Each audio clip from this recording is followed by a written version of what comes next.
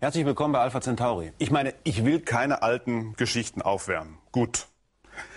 Aber 1610, schon eine Weile her, hatte Galileo Galilei ja vier Monde entdeckt, die um den Jupiter rumkreisen. Io, Europa, Ganymed und Callisto. Also drei Damen, ein Herr, alles Geliebte des Göttervaters Zeus, dem römischen Jupiter. Und er hatte ja damals die Probleme mit der Inquisition und äh, hatte dann einige Kardinäle der katholischen Kirche zu Besuch. Und die hat er aufgefordert, sie sollten noch mal durch sein Fernrohr gucken, um zu gucken und um zu sehen. Die Herren haben das, äh, wie Sie ja wissen, abgelehnt, unter anderem mit dem Argument, kommen Sie mich mit Fakten, wir haben uns unsere Meinung längst gebildet. Ich will Ihnen heute mal ein paar Fakten liefern, und zwar Fakten über etwas, was wir in den letzten Jahren dank Galileo, nämlich einer Sonde, die zum Jupiter geflogen ist und sich die Monde viel genauer angeguckt hat, herausgefunden haben. Ich will Ihnen heute was erzählen über die Frage, gibt es Leben auf Europa? Ja. Tja, Europa, einer der Monde des Jupiter, ist einer der interessantesten Objekte im Sonnensystem und Europa sieht so aus. Das ist der Blick der Sonde Galilei auf den Mond Europa. Sie sehen also blaues Eis an den Polen. In der Mitte dieses, dieses Mondes, Planet kann man nicht sagen, ist ein Begleiter von Jupiter. Sehen Sie diese roten Flecken? Und diese roten Flecken sind Eis angefüllt mit viel Gestein und Felsenmassen, die offenbar hochgedrückt worden sind. Denn schaut man genauer hin, auch wieder eine Aufnahme von Galileo, dann sieht man unglaublich große Grabensysteme, die einige hundert Kilometer groß sind. Und man sieht also, dass auf diesem Planeten auf, ich sage immer Planet, weil er so groß ist, ja größer als der Mond. Er ist ein Mond, dass auf diesem Körper irrsinnige Kräfte am Werke gewesen sein müssen, gewesen sein mussten und müssen, denn das, was man da sieht auf diesem Bild, das sind Eisschollen, riesengroße Eisschollen, die aufgebrochen worden sind, die aufgestiegen sind und die etwas darüber erzählen, was sich auf diesem Himmelskörper abgespielt hat und immer noch abspielt. Denn, Herrschaften, dieser Himmelskörper, hat eine, tja, wie soll ich es ausdrücken? Sagen wir es mal so. Der Mond, also normaler Mond, wie unserer zum Beispiel, ist ein totes Ding. Das ist ein toter Gesteinsbrocken, der kühlt langsam ab, Feierabend. Bei Europa allerdings zeigt es sich, dass, es sich, dass er eine innere Wärmequelle hat. Dass das Eis an seiner Oberfläche ist, das wissen wir, weil wir haben die Absorptionslinien von Wasser gefunden, also H2O.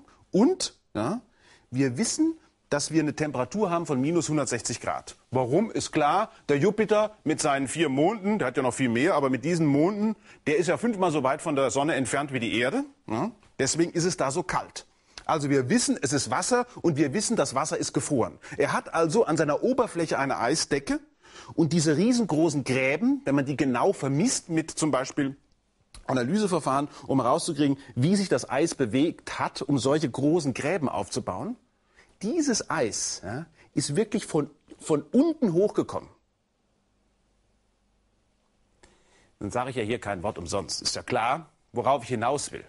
Wenn wir also Wasser finden und gefrorenes Wasser, vor allen Dingen also Eis, auf der anderen Seite aber offenbar die Bilder dieses von, von Europa ja andeuten, dass sich da was bewegt und dass sich da was tut, dass es da eine Energiequelle gibt, die das Eis immer wieder in Wallung hält das ist ein komisches Wort bei Eis, aber es wird tatsächlich in Wallung gehalten, auch wenn die Temperaturen so niedrig sind, minus 160 Grad, wie gesagt, ähm, dass diese Quelle, dass in, auf diesem Planeten, oder ah, schon wieder Planet, es liegt daran, weil er so groß ist, ähm, dass auf diesem Mond sich irgendwas Tolles tun muss und dass es vielleicht sogar unter dieser Schicht, Eisschicht, na, flüssiges Wasser geben könnte.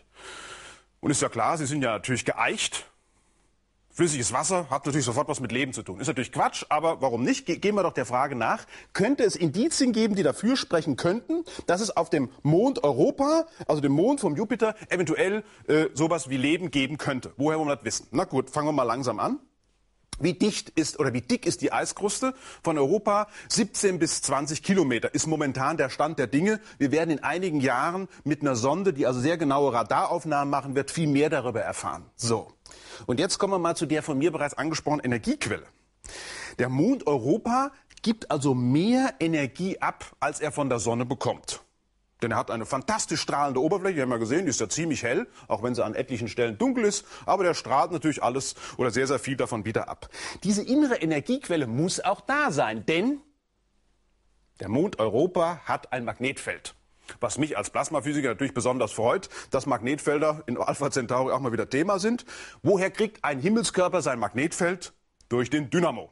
Der Dynamo hat was damit zu tun, dass in seinem Inneren sogenannte Konvektionsbewegungen am Werke sind. Konvektionsbewegung heißt, unten ist es heiß, oben ist es kalt und Material, was aufgeheizt ist, steigt auf, kühlt ab, fällt wieder runter und so weiter. Und genauso wie Ihr Fahrraddynamo Bewegungsenergie in magnetische Energie verwandelt, kann das bei einem Planeten, also diesmal ist das Wort übrigens richtig, bei einem normalen Planeten ist das so wunderbar, bei der Erde zum Beispiel. Ne? Die Erde hat eine innere Wärmequelle, das ist Radioaktivität, und noch alte Bindungsenergie von damals, als sie entstand. Und deswegen werden die Gesteine im Innern aufgeheizt. Europa hat auch ein Magnetfeld. Das wissen wir von Galileo. Da ist nämlich ein Magnetometer dran angebracht. Woher kann ein Mond ein Magnetfeld haben? Ja, weil er ein Dynamo hat. Wo ist aber seine Wärmequelle her? Ich meine, woher kriegt dieser, Pla die, dieser Mond, Entschuldigung, dieser Mond eigentlich seine Wärme her? Erstens, von dem, was noch übrig ist, weil er ein relativ großer Himmelskörper ist. Aber zweitens von dem Herrn, den er umkreist. Jupiter. Europa ist der Mond, der nach Io dem Jupiter am nächsten steht. Übrigens, über Io müssen wir auch mal eine Sendung machen. Kannst du mir jemand aufschreiben? Das ist also der innere Planet. Der, das, ist ja, das ist ein ganz armes Stück. Aber wir reden ja über Europa. Europa erfährt wie Io vor allen Dingen was über die, über die Schwerkraft von Jupiter. Der Jupiter knetet diesen Mond durch, weil er so unglaublich schwer ist. Ist ja 320 mal schwerer als die Erde. Und genau wie Erde, wie unsere Erde mit ihrem Mond diese Gezeitenwechselwirkung hat. Sie wissen ja, ne, fahren Sie zur Nordsee, das Wasser ist immer weg, Ebbe und Flut.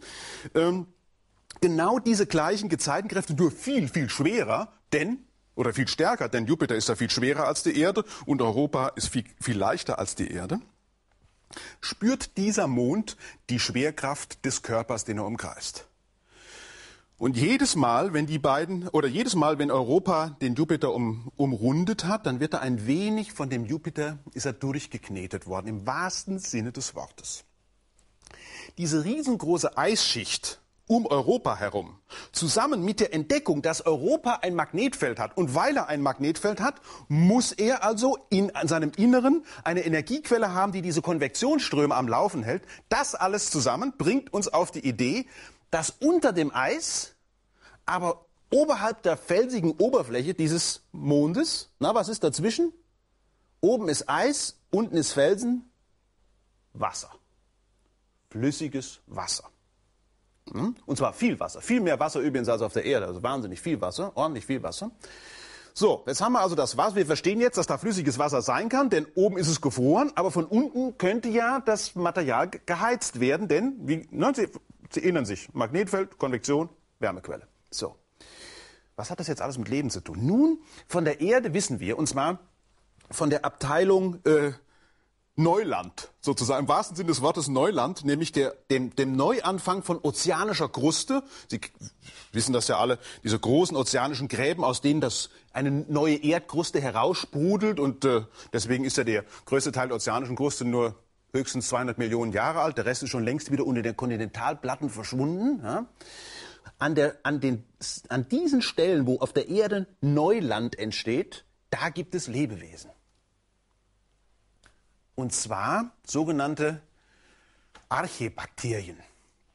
Das sind Einzeller, also kleiner als klein, die in der Nähe von sogenannten Black Smokers existieren. Das sind also äh, Löcher im Erdboden, aus denen einfach sehr heißes äh, Material rauskommt und sich zusammen und erstmal also nicht nur heiß, sondern auch sehr mineralienreich ist. Und in der Nähe dieser Black Smokers haben sich Ökosysteme gebildet.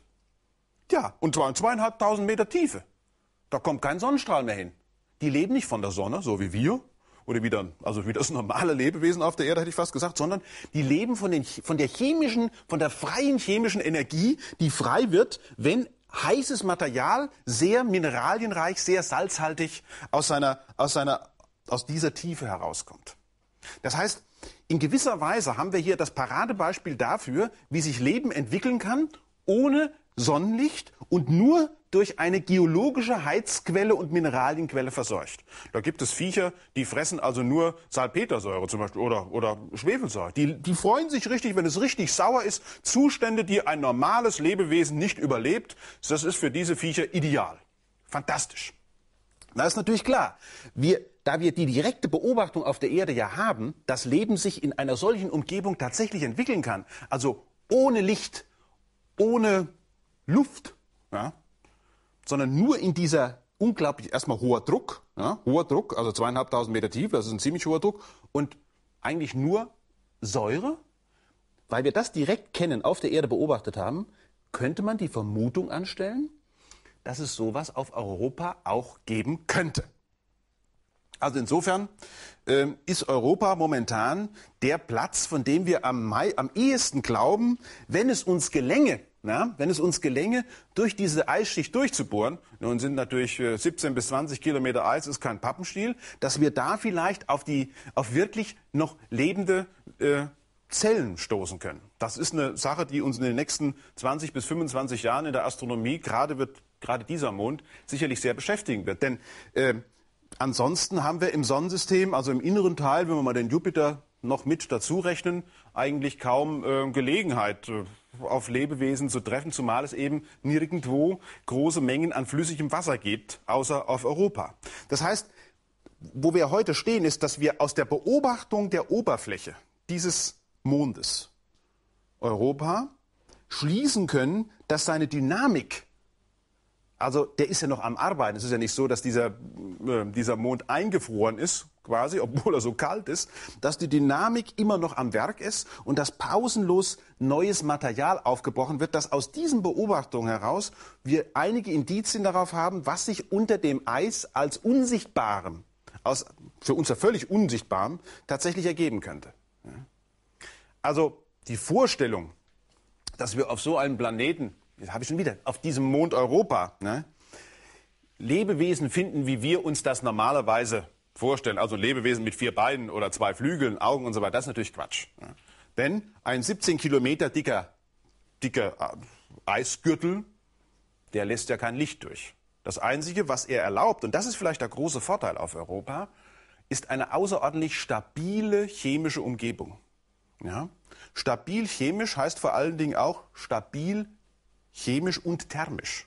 Dadurch, dass dieser dicke Eisgürtel da drauf liegt und das Wasser von unten praktisch immer schön erhitzt wird, hat man wahrscheinlich außerordentlich angenehme Temperaturunterschiede. Also nicht irgendwie äh, Temperatur hier hoch und danach sofort eiskalt, sondern der, die, der, Temperaturverlauf in dem Wasser wird relativ angenehm sein. Das wird für diese, für diese chemischen Vorgänge sehr, sehr ersprießlich und erquicklich sein. Also wir werden hingucken und wir werden, also wir werden hinfliegen äh, nicht wir, aber eine, einige Sonden und werden versuchen, auf dem Mond Europa Neues zu entdecken. Tja, ich frage mich wirklich, was würden die Kardinäle von 1610 sagen, wenn sie sehen würden, was wir heute auf dem Mond Europa so alles entdeckt haben und vermuten. Naja, aber zu den Kardinälen von damals kann man vielleicht nur sagen, manche Menschen denken, glauben ja, dass sie denken. Dabei sind sie nur gerade dabei, ihre alten Vorurteile neu zu arrangieren.